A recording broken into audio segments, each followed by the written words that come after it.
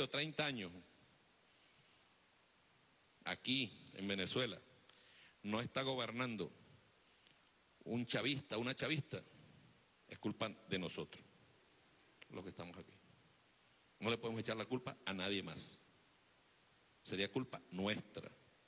Y debemos asumirlo así. Nos corresponde a nosotros hacerlo. El comandante Chávez lo decía.